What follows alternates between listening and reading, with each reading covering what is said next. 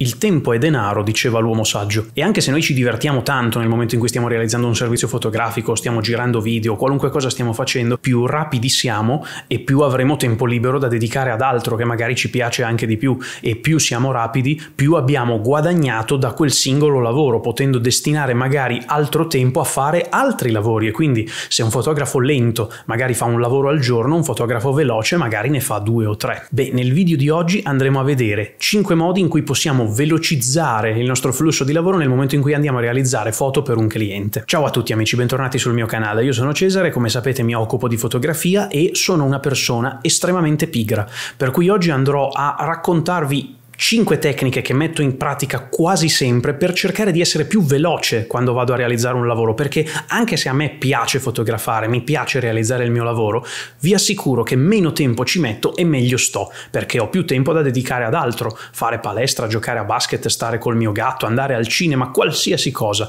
Se io riesco a realizzare il mio servizio fotografico con relativa post-produzione nel minor tempo possibile, ho più tempo da dedicare ad altro e posso scegliere se prendere più lavori o se andare a divertirmi al bar con gli amici. Dal momento che ultimamente al bar con gli amici ci si va sempre di meno perché gli impegni stanno diventando tanti, io vi chiedo un aiutino, un supporto a questo canale che non vi costa assolutamente niente, basta cliccare il bottone rosso qui sotto per attivare l'iscrizione e se attivate anche la campanella non rischiate di perdervi i contenuti. Inoltre vi ricordo che io cerco di rispondere a tutti quanti, purtroppo qualcuno ogni tanto me lo perdo, se mi perdo il vostro commento, se dopo una settimana non vi ho risposto riscrivetemi per ricordarmelo perché magari mi è sfuggito, però io cerco di rispondere quando posso lo faccio anche con dei video verticali, con dei contenuti veloci. Quindi a maggior ragione se siete iscritti non rischiate di perdervi le risposte a qualche commento che potete avermi lasciato. Molto bene, ma partiamo dal primo punto. Sarà una banalità, ma secondo me è essenziale scegliere all'interno della nostra strumentazione, nel nostro parco macchine, parco ottiche, scegliere la cosa più adatta in base a quello che dobbiamo fare.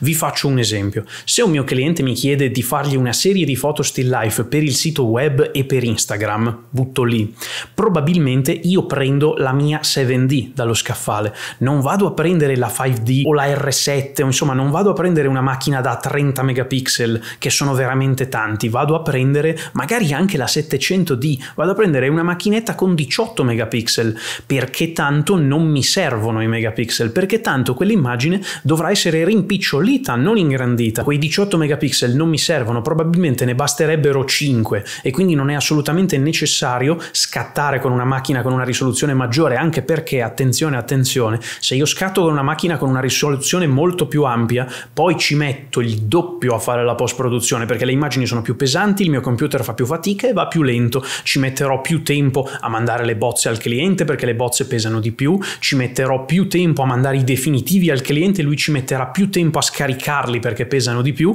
E quindi alla fine, siccome non riuscirà a caricarli dove deve, magari ci metterò anche più tempo io a comprimerglieli perché lui non è capace. Quindi è molto importante scegliere la strumentazione che ci agevoli. Un'altra cosa che possiamo fare per risparmiare tempo, e questo lo sperimento tutte le sante volte, è impostare la fotocamera prima di arrivare dal cliente. Questo per due motivi. Il primo è che se abbiamo la macchina già parzialmente impostata, dobbiamo soltanto fare l'ultimo fine tuning e siamo già in bolla. Mentre se arriviamo lì, a me è capitato alle volte di, e non lo faccio più adesso, mi è capitato alle volte di arrivare da un cliente, magari dovevo fare un lavoro di still life, arrivo lì e faccio la figura e gli dico sì, allora aspetta un momento, eh, che per still life devo mettere certe impostazioni, qui vedo che avevo messo, avevo messo 30 secondi di posa l'ultima volta, probabilmente stavo facendo paesaggio, eh, stavo facendo un'altra cosa, aspetta che la rimetto in bolla. Ecco, no, non si fa così. Se sai che stai per fare still life, ti imposti la macchina in maniera tale da arrivare già pronto per fare still life. Poi ci sarà bisogno di una correzione, la fai, però non che devi fare tutta la rotella perché sei a 30 secondi F22 e ISO 6400, cioè stavi facendo astrofotografia e, e vai a fare uno still life con le stesse impostazioni con l'autoscatto magari,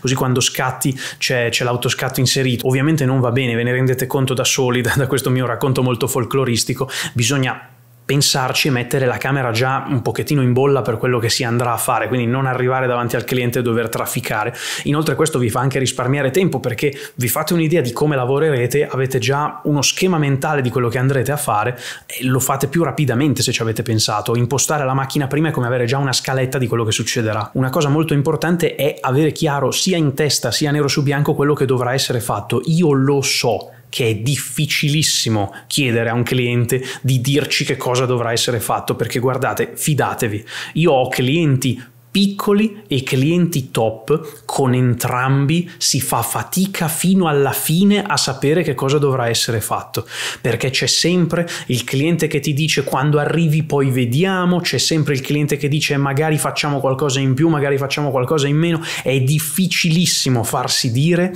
le cose da fare sono queste. Io infatti a molti clienti lo dico, a molti clienti dove magari c'è un intermediario o un responsabile, io dico sempre guarda io ti chiedo se è possibile avere la lista lista delle cose che dovremo fare. E aggiungo, lo so che non me la darai, però io te lo chiedo e lo chiedo per iscritto, perché così se ci saranno problemi, se non riusciremo a finire, capisci che non è colpa mia. Io ti ho chiesto di quantificarmi le cose, di dirmi le cose, non do la colpa a te. Lo so che non mi farai avere questo elenco perché tu magari lo chiederai al tuo superiore, il tuo superiore non te lo dirà, oppure sarà irreperibile, oppure non ci sarà modo di saperlo, oppure si aggiungerà della roba alla fine, oppure ci sarà una delegazione dalla Svizzera che è arrivata con un giorno di anticipo e allora già che ci siamo facciamo le foto anche allora, insomma, io lo so che non si riuscirà mai a fare una scaletta. Però provarci non guasta, perché comunque avere un elenco anche sbagliato di quello che si dovrà fare, poi se ti aggiungono la delegazione della Svizzera di 128 pezzi grossi, tutti quanti che devono fare la foto con le strette di mano, a quel punto tu dici, carta canta, io non sapevo che lo dovevo fare, quindi ci proviamo, però se non ci riusciamo non è colpa mia. Quantomeno cercare di farselo fare è importante. Avere la scaletta ci permette di dire, ok, ma se noi dobbiamo fare le foto still life in questa stanza e poi le foto delle strette di mano nell'altra stanza, facciamo prima tutta una cosa e poi tutta un'altra, così lavoriamo spediti quantomeno. Anche questo, io lo so benissimo che non sarà mai possibile lavorare bene in un contesto del genere, perché ci sarà uno pronto per fare le strette di mano alle ore 9 e poi fino alle 11 non ci sarà più nessuno, per cui fatta la prima stretta di mano si va a fare lo still life nell'altra stanza. Poi alle 12 ci sono altri 4 che vogliono fare le strette di mano allora si smette di fare still life e si torna di là. Purtroppo il lavoro è anche così, però cercare comunque di avere una scansione degli eventi sicuramente ci aiuta. Ci aiuta sia a non dimenticarci niente, sia a lavorare più rapidi, perché quantomeno, e a me è capitato, quantomeno se io so che ce n'è uno alle 9 e poi non c'è più nessuno fino alle 11, io già so che alle 9 facciamo una stretta di mano e poi dopo facciamo still life fino alle 11 o quel che è, almeno so di che morte devo morire, quindi so come organizzarmi e al limite posso anche pensare di allestire due set per non perdere tempo. Un'altra cosa che secondo me è molto importante è cercare di sistemare la scena quanto più possibile in loco. Perché vi dico questo? Perché è vero che ci sono cose che si possono sistemare in post, certo si possono sistemare un sacco di cose in post, però un conto è sistemare una singola foto e un conto è sistemarne 300. Quindi se noi stiamo facendo una singola foto, ma non succede mai, non chiamano il fotografo per fare una singola foto, se stiamo facendo una singola foto e c'è una roba fuori posto nell'angolino, Beh, amen, quella la sistemiamo. Ma se stiamo facendo 300 foto e sono 300 foto dove bisogna sistemare qualcosa, questo è un problema. Questo vale per lo still life, vale per le strette di mano, vale per qualunque tipo di immagine. Quindi nel momento in cui allestiamo un set o facciamo qualsiasi cosa, perché poi è una buona regola da seguire sempre, cerchiamo di avere la scena giusta, cerchiamo di non lasciare filo che, che passa qui sopra, che si vede nell'angolo, perché no, non solo perché è brutto e perché è un modo disordinato di pensare e di lavorare, ma perché poi se sono 300 foto sono 300 foto da sistemare e io non voglio passare la settimana a sistemare 300 foto, preferisco metterci un secondino per togliere l'elemento di disturbo in maniera tale da non doverlo fare. Questo perché sono pigro e perché sono furbo. E sempre sulla falsariga della mia ormai nota pigrizia, arriviamo al quinto e ultimo modo per cercare di essere un pochettino più rapidi quando si lavora. Ragazzi, cerchiamo di produrre il necessario, cerchiamo di non produrre un eccesso di materiale. Questo ve lo dice uno che ha prodotto eccesso di materiale per anni, perché tanto è digitale, perché tanto non costa niente, perché tanto sono tutte balle. Non è vero che non costa niente perché anche se è digitale la nostra strumentazione si usura con l'utilizzo, quindi non è che se faccio tre foto in più a un cliente mi esplode la macchina in mano, però se ogni volta che esco faccio 3000 foto la mia strumentazione durerà molto di meno se ne facessi 300, durerà molto di meno ne, che non se ne facessi 30. Ora, se farne 30, 300 o 3000 soltanto noi possiamo deciderlo, dobbiamo fare le foto che sono necessarie per soddisfare l'esigenza di quel cliente ovviamente. L'idraulico quando viene qui da noi non è che pensa pensa che se usa troppo la chiave inglese si consuma e poi la deve ricambiare. Fa il suo lavoro e quando la chiave inglese si rompe la cambia, pacifico. Però non è che lo stesso pezzo ce lo avvita e ce lo svita dieci volte per essere sicuro di averlo fatto bene, perché la sua chiave inglese si usurerebbe molto prima se facesse così. Allo stesso modo cerchiamo di acquisire la consapevolezza se lo scatto è giusto o se lo scatto è sbagliato. Capita anche a me di ripetere lo scatto. Sono su tre piede, magari ho fatto partire lo scatto automatico e poi do un colpo col ginocchio quella ovviamente è da rifare. Oppure peggio ancora, sto facendo lo scatto e siamo sul parquet e il mio cliente è lì nervoso che sposta il peso da un piede all'altro e mi fa ballare il trepiede, lo redarguisco, lo mando via e rifaccio la foto. Quello è ovvio, però della stessa posa non ne faccio 100. Conosco la mia strumentazione, so che la fa giusta al primo colpo, se non la fa giusta al primo colpo me ne accorgo perché se è palesemente fuori fuoco o se è successo qualcosa, se è sbagliata l'esposizione, me ne accorgo subito, cancello subito quella sbagliata che ho fatto perché non voglio trovarmi a casa a dover dire ok, questa è giusta, questa è sbagliata, questa è giusta, questa è sbagliata. No, Può succedere che una foto che io reputavo giusta si riveli sbagliata a casa, ma una foto che io so che è sbagliata la cancello subito, perché significa, tanto io sono lì dal cliente tutta la giornata magari, significa che in quella giornata ho già fatto un minimo di selezione, quindi non dovrò riguardarmele tutte, anche quelle che sono palesemente sbagliate, perché quelle le ho già eliminate e a casa non le guardo più. E ho anche evitato di produrre eccesso di materiale. Eccesso di materiale significa che se sto facendo uno still life dove devo fotografare un telefono cellulare, ne faccio una frontale, una dall'altra parte, parte, una piatta, una sull'angolo, tutto quello che vogliamo, però non ne faccio tre frontali, quattro sull'angolo, quattro da dietro, ce ne facciamo una e cerchiamo di farla bene, perché tutto il resto è eccesso. E eccesso significa che faremo fatica a scegliere, perché magari ce ne sono tre uguali, non eravamo sicuri, allora ne abbiamo fatte tre uguali, una col telefono così, uno così, uno così,